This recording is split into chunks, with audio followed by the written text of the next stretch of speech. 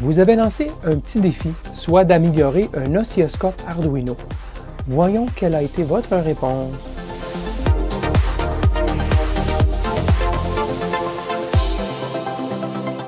Bidouilleur, salut! Dans ma vidéo numéro 333, je vous ai présenté le petit projet d'un oscilloscope basé sur l'Arduino Uno et produisant une sortie vidéo composite pouvant être visionnée sur tout écran ou téléviseur équipé d'une telle entrée.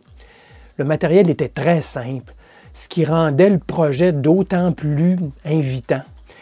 Il serait grandement préférable que vous visionniez la vidéo numéro 333 avant cette vidéo-ci, puisque cette vidéo explique en détail le projet. C'est un bidouilleur, Cédric, qui m'avait présenté le projet. Et il m'était venu à l'idée de vous lancer un défi, celui de compléter le travail de codage de l'Arduino. La base était bonne, mais il y avait place pour ajouter des caractéristiques intéressantes et réparer ce qui semblait être un problème de déclenchement. Vous avez été un grand total de un bidouilleur à me fournir du code source. Moi qui croyais être enseveli par du code. J'espère que ce n'est pas par crainte d'humiliation que si peu de bidouilleurs m'ont fourni du code source, car ça n'aurait pas été le cas, croyez-moi. Il est aussi probable que certains bidouilleurs aient débuté le travail, mais qu'ils se soient butés aux limites d'expansion qu'impose l'Arduino Uno. Car on va le voir, la solution combinée de librairie TV-Out et l'ADC limite de beaucoup la performance. Alors, je vais d'abord vous montrer le travail que j'ai fait pour tenter de corriger le problème de stabilité de la forme d'onde. Est-ce une instabilité reliée au processus de déclenchement? Bien, allons voir. Alors, le problème de déclenchement, le problème principal que j'avais énoncé dans la première vidéo dans laquelle je vous lançais le défi, c'est qu'il semblait avoir un problème de déclenchement, d'instabilité. Euh, lorsqu'on ralentit la fréquence, on voit plus la forme d'onde, mais il y a encore quelque chose, vous voyez, qui n'est pas tout à fait stable. Est-ce que c'est le déclenchement? Euh, ça a été mon premier euh, souci. Je me suis dit peut-être que le code source au niveau du déclenchement n'est pas, bien fait. Alors, ce que j'ai fait, c'est que j'ai analysé la partie du code source qui fait le déclenchement. Essentiellement, le code attend jusqu'à 400 échantillons pour une transition sous une valeur moyenne qui est calculée. La, valeur moyenne, c'est vraiment la valeur maximale moins la valeur minimale et tous les points. Il y a une, euh, il y, a, 100 points qui sont affichés à l'écran, il y a une valeur moyenne de calculer. Et lorsque la tension passe plus haut que la valeur moyenne, donc du, de sous la valeur moyenne à au-dessus de la valeur moyenne, euh, c'est ça le déclenchement. Et c'est ce qu'on fait ici le test. Une fois que le déclenchement est approuvé, donc ça veut dire qu'on a une transition à partir du centre de la forme d'onde au niveau de la verticale, ben on tombe dans l'acquisition des points et on en acquiert 100. C'est la largeur que vous voyez à l'écran, c'est 100 points. Alors, au niveau du code source, ça me semblait bien correct et il ne semblait pas y avoir de difficulté de ce côté. Alors là, je me suis dit peut-être que l'acquisition, euh, donc avec l'ADC, n'est pas bonne. Il y a peut-être quelque chose qui fait que l'ADC ne prend pas les points en séquence ou quelque chose qui ne va pas. Alors, ce que j'ai fait, c'est que dans le code source, j'ai éteint la partie TV out, donc je ne voyais plus rien à l'écran du tout. Mais par contre, j'ai activé euh, le port série et j'ai téléchargé les 100 points à chaque fois pour qu'on voit ce que ça donne. Et les 100 points, je les ai mis ici dans un chiffrier comme euh, OpenOffice et vous voyez que l'acquisition est très bonne. Alors je me suis dit, c'est peut-être au niveau du centième point ou des, des 100 points que ça ne va pas, il y a peut-être quelque chose, j'en ai mis 200. C'était tout aussi beau, tout simplement plus long, sans aucun, aucun problème d'acquisition. Donc, j'en suis venu à la conclusion que c'était probablement pas un problème de déclenchement et c'était probablement pas un problème d'ADC pur et simple. Il fallait qu'il y ait autre chose. Mais quoi? Alors là, c'est là que j'ai ralenti la fréquence. Et je vais vous montrer. Je vais faire la même chose ici. Je vais ralentir la fréquence, puis présentement, j'ai un signal à 300 Hz. Alors, si je ralentis ça à 100 Hz, on commence à voir des petites choses apparaître. On voit qu'il ne semble pas être stabilisé du tout, du tout. Mais on voit qu'au centre, ça ne bouge pratiquement pas et bon, c'est toujours une période répétée, vous voyez. Il y a vraiment un écart. Il y en a ici de ce drôle de, de comportement. Il y en a ici au centre, il y en a ici à droite et ça ne bouge pas. Alors là, j'ai continué à descendre la fréquence encore plus. Et quand je suis arrivé à 60, là, 60 Hz, là, j'ai commencé à voir euh, quelque chose qui commençait à s'apparenter à la même fréquence, euh, un battement entre les deux signaux, quelque chose du genre. C'est là que j'ai commencé à me demander s'il n'y avait pas frottement entre les deux signaux, euh, soit peut-être le 60 Hz du secteur, puisque ici on fonctionne à 60 Hz, et là j'ai un signal de 60 Hz à l'écran. Alors je me suis dit peut-être c'était ça. Problème euh, d'interférence venant du secteur. Alors, mon signal est à 60 Hz et on voit que ce n'est pas tout à fait stabilisé. Il y a une légère différence de signal entre les deux. Par contre, si je descends le signal à 59.6, voilà, ah, c'est stabilisé. Donc, là, je me suis dit, c'est pas 60, et on sait que le secteur ici, en tout cas en Amérique, c'est très près de 60. OK? C'est même pas des dixièmes d'hertz à côté, là, c'est beaucoup plus près que ça. Vous regarderez une de mes vidéos là-dessus. Et euh, donc, je me suis dit, y a-t-il un problème? Euh, parce qu'on sait que l'affichage se fait à 29,97, euh, hein, le balayage à l'écran.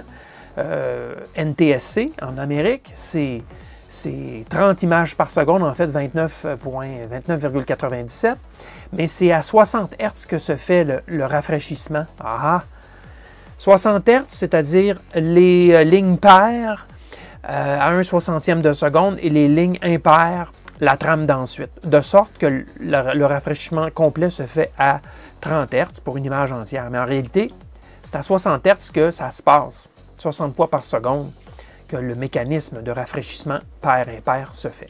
Et en mettant la sonde sur le signal de sortie composite, bien sûr, je vois bien le début de la trame, euh, donc 60 fois par seconde.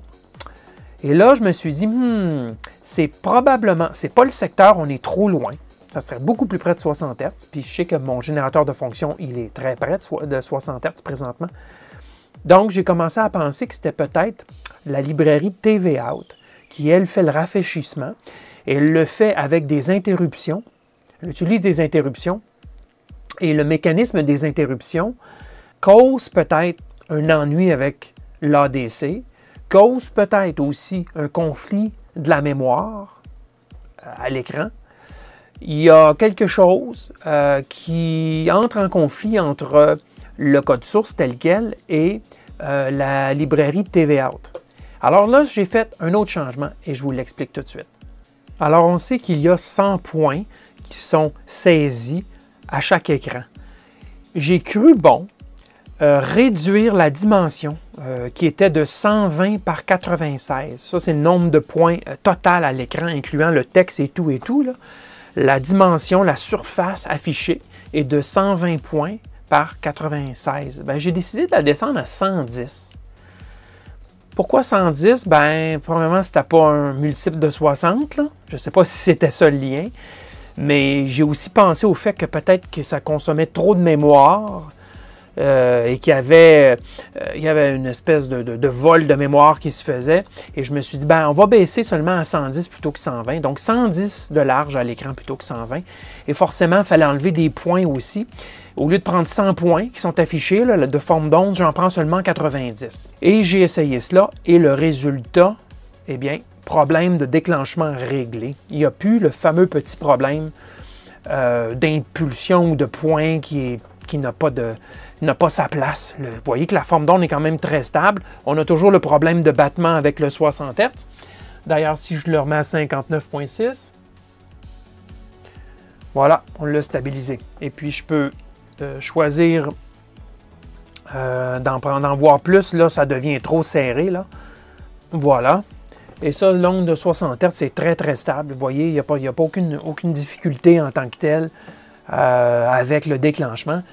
1000 Hz, l'onde à 1000 Hz, c'est pas mal le maximum qu'on peut montrer euh, avec euh, cette vitesse d'échantillonnage et encore être capable de voir la forme d'onde.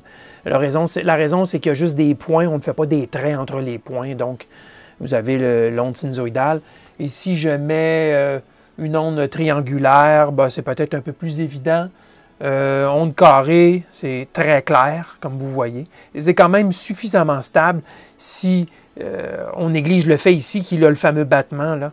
Euh, qui semble venir de TV Out, euh, donc un battement entre l'affichage, donc la, librairie, donc l'affichage et le signal qui est échantillonné. Alors, il y a toujours ce petit battement. Alors voilà, au moins j'ai réglé le problème de déclenchement, ce que je voulais. J'ai dû, puisque j'ai enlevé un peu d'informations, euh, j'ai enlevé 10, 10, points de large, ben, j'ai dû comprimer un peu l'information ici un petit peu plus. Euh, pour que la fréquence d'échantillonnage, qui incidemment est, très correcte. Présentement, il prend euh, les points à un rythme de 8000 points par seconde et il en prend 90 à, chaque, à chaque rafraîchissement d'écran. Donc, maintenant, ça fonctionne bien au niveau du déclenchement. On peut dire qu'on a un oscilloscope qui est plus fonctionnel. Alors maintenant, je vous propose une deuxième solution. C'est une solution qui a été réécrite euh, essentiellement au complet, sauf pour la partie TV bien sûr. Alors, elle nous vient de Donor. Donor, euh, c'est Jonathan, alias Donor. Jonathan a soumis son travail sur euh, GitHub. Donc, je vous fournis l'adresse vers ces fichiers qui sont bien sûr ouverts, donc libres de droit. Vous pouvez aller voir si vous voulez. Et il nous décrit bien sûr les prérequis et le but de l'exercice, c'était bien sûr de, répondre à ma vidéo d'introduction sur euh, l'Arduino euh, Composite, l'oscilloscope Composite à base d'Arduino. Donc, euh, il nous explique sa solution et la façon la plus simple, c'est de regarder son schéma électrique, son schéma qui lui aussi est fourni sur GitHub, et le voici. Il y a quelques petits changements. le plus gros changement, c'est qu'il a ajouté un bouton additionnel pour se donner la possibilité de, jouer dans des menus. Alors, il s'est ajouté un bouton, parfait, pas de problème. Il s'est aussi ajouté une entrée euh, d'horloge pour faire de l'acquisition en mode rapide. C'est une horloge euh, qu'on met venant d'un générateur de fonction à 20 kHz, ce qui accélère un peu euh, l'échantillonnage. On va le voir tantôt. Il s'est aussi mis un potentiomètre qui fournit une tension analogique qui se trouve être la tension de déclenchement entre 0 et 5 volts. Ben, il échantillonne cette tension-là et puis ça, c'est sa tension de déclenchement. Je crois que l'entrée est identique, il n'y a rien changé de ce côté. Il a peut-être changé un petit peu les valeurs de résistance au niveau de la sortie vidéo. Mais donc un bouton, une entrée euh, d'horloge externe si on le veut, c'est optionnel pour aller un peu plus vite sur l'échantillonnage et une tension de déclenchement. Alors, je vous montre tout de suite sa solution telle qu'implémentée. Euh, par la suite, on regardera rapidement le code. Mais, euh, alors, en apparence, premier, look, ça semble similaire à la solution initiale, mais vous allez voir qu'il a quand même ajouté plusieurs caractéristiques intéressantes. La première, c'est un menu rotatif. Euh, donc, on va agir sur différents paramètres en rotation. Alors, si je, euh, fais fonctionner le menu rotatif, pour marquer ici, ça, on est dans le mode statistique. Maintenant, on est dans le mode échelle verticale, dans le mode échelle horizontale, dans le mode de déclenchement et ça revient mode statistique. Bon, par exemple, le mode statistique, avec l'autre bouton, je peux allumer les stats, comme on avait dans le passé, ou les éteindre, les enlever de l'écran, en rotation comme ça. Si je vais dans le mode d'échelle verticale, V pour verticale, à ce moment-là, bien, avec le bouton, euh, l'autre bouton, je peux changer l'échelle et c'est un mode d'échelle rotative. Ici, l'amplitude est tellement grande que ça ne vaut pas la peine d'aller avec une échelle plus fine. Alors, on garde l'échelle la plus euh, grossière. Euh, au niveau horizontal, c'est un peu la même chose. On peut changer l'échelle en pesant avec le bouton de droite, euh, où là, on voit de plus en plus de, cycles à l'écran. Vous voyez ici, on est capable encore de voir euh, l'onde triangulaire avec un peu de difficulté. Mais si je mets un signal carré, vous allez voir tout de suite le signal carré, voyez-vous. alors, l'échelle horizontale fonctionne quand même bien aussi. et finalement, il y avait le déclenchement. Le déclenchement, le menu n'a malheureusement pas été implémenté encore. Alors ça, c'est le fonctionnement général des menus. Il y a une autre fonctionnalité. Lorsqu'on fournit un 20 kHz euh, à l'entrée en question D2. On fournit l'horloge de 20 kHz, une onde carrée 0,5 volts, TTL, et ça va donner ce qui suit.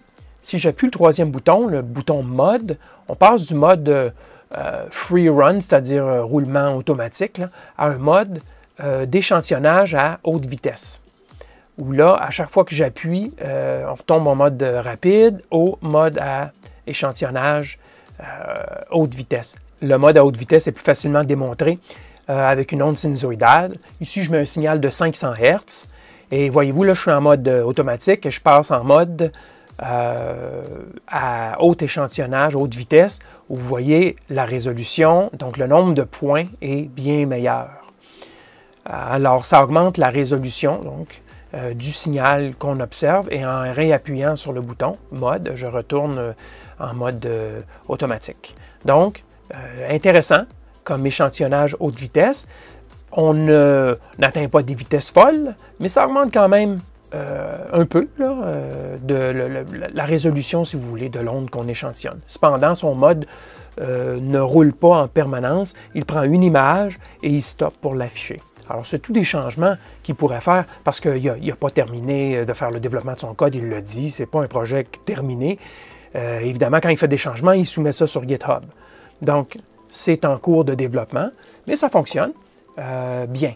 Ceci dit, euh, il y a quand même, et vous le notez, le petit problème euh, de déclenchement plus ou moins stable, un peu le même problème qu'il y avait dans la démonstration initiale, que j'ai pu corriger en mettant 110, 110 de large plutôt que 120 de large comme résolution à l'écran, et descendre le nombre d'échantillons à 90 puisqu'on n'a plus assez d'espace pour afficher 100 points.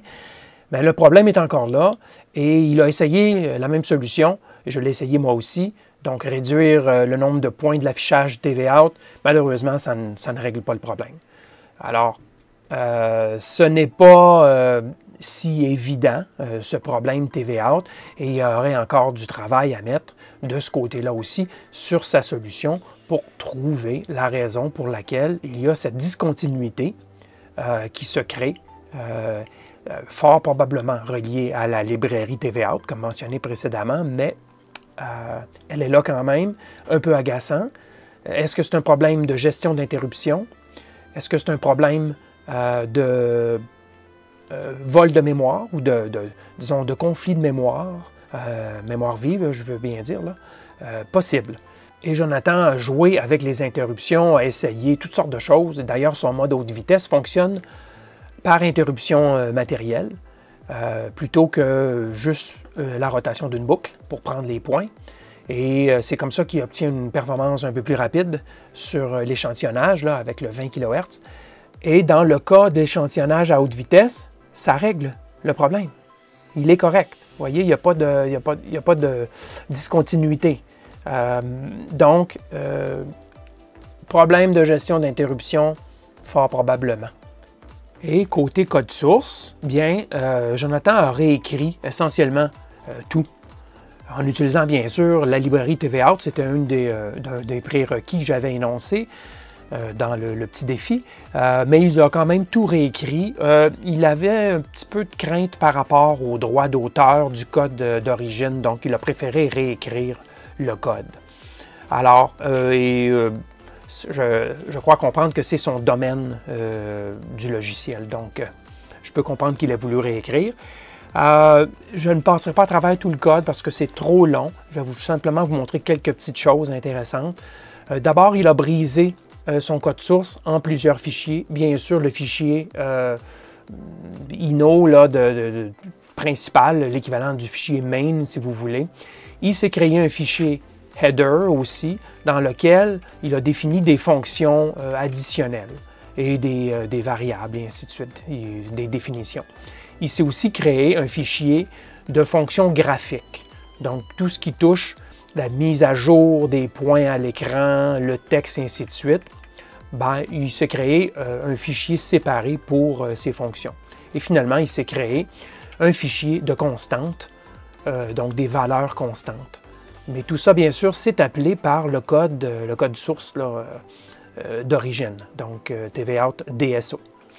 Alors, comme le code d'origine, il sait diviser la tâche pour tout ce qui touche, par exemple, changer l'échelle verticale, changer l'échelle horizontale. Il sait créer des fonctions qui permettent de faire ce travail, tout simplement il s'est aussi créé une fonction qui gère les boutons, donc qui euh, vient euh, vérifier si un des boutons est appuyé et qui prend action en conséquence. J'ai aussi mis des fonctions qui affichent euh, les différents modes, les étiquettes qu'on voyait à l'écran, soit le mode, par exemple V-Scale, H-Scale et ainsi de suite. Il s'est ajouté ça et aussi pour imprimer les statistiques à l'écran. Et finalement, on tombe dans la partie d'acquisition et euh, il utilise bien sûr la fonction analog read dans le mode normal. C'est euh, une fonction Arduino là, euh, qui vient de la librairie d'Arduino. Et, bon, bien sûr, il gère cette acquisition. Cependant, si le mode haute vitesse à 20 kHz est activé, là, il va faire un petit peu différent. Il va lancer une euh, attache, donc il va créer une interruption sur une des broches, et c'est la broche du déclenchement, c'est-à-dire 20 kHz. Le signal de 20 kHz, à chaque fois qu'il y a un front montant, ça va déclencher une interruption, une routine d'interruption qui s'appelle euh, Acquire Measure. Donc, il appelle la routine de mesure, d'acquisition, mais pas simplement dans une boucle qui tourne en rond, mais bien à chaque fois qu'il y a un front montant sur l'horloge de 20 kHz ce qui accélère finalement l'échantillonnage. Et lorsque l'acquisition d'un signal complet, donc d'un écran complet, euh, est faite, complétée, il désactive l'interruption. Et du fait qu'il utilise le mode donc par interruption, c'est vraisemblablement ce qui fait qu'à l'écran, il n'y a pas de discontinuité dans l'échantillonnage qu'il fait, et par surcroît, c'est plus rapide que de se fier sur la boucle qui tourne en rotation tout le temps. Donc, c'est essentiellement ce qu'il a fait comme travail. Euh, ça ressemble pour le reste, quand même, le principe de fonctionnement de Cioscope est le même. Euh, donc, euh, mais il a quand même réécrit et il a utilisé les interruptions pour le mode à haute vitesse. Donc, c'est bien fait, très bien, très bien écrit, très bien aligné. on voit que ce n'est pas la première fois qu'il écrit du code source, ça c'est clair. Depuis le tournage du dernier segment vidéo, Jonathan a implémenté le choix de déclenchement par front montant ou front descendant et il a réparé l'utilisation de la tension de déclenchement, le seuil de déclenchement ajustable, qui ne fonctionnait pas bien auparavant. Voici une vidéo qu'il m'a envoyée montrant les améliorations. La forme d'onde est beaucoup plus stable qu'auparavant et notez aussi le curseur à droite de la boîte qui indique le niveau du seuil de déclenchement. Les fichiers disponibles sur GitHub contiennent ces améliorations. On a donc constaté que l'oscilloscope peut afficher une onde de, disons, un maximum de 2000 Hz. Bien sûr, le fait que l'onde soit illustrée par des points rend le visionnement des hautes fréquences plus difficile. Quant à la fréquence minimale affichable, elle est très basse, donc on pourrait dire 0 Hz, donc une tension continue essentiellement. La vitesse d'échantillonnage et les caractéristiques de cet oscilloscope n'arrivent pas à la cheville de celles des oscilloscopes plus chers. Et c'était attendu. TVA utilise beaucoup de ressources et des interruptions pour produire un signal composite au minutage suffisamment bon pour que l'écran en soit satisfait. Un écran LCD peut garder ses pixels allumés à l'infini, mais le signal composite analogique commande le rafraîchissement complet de l'image 30 fois par seconde, peu importe qu'il y ait changement ou pas. Et ça, c'est beaucoup demandé à un Arduino. Donc, cette solution, TVA, ben, elle est correcte si les tâches autres que l'affichage sont simples et ne requièrent pas euh, de la performance. Ceci dit, Parlant performance, il y a quand même des choses qu'on pourrait changer dans l'architecture du code source pour changer le rendu de l'oscilloscope Arduino Composite.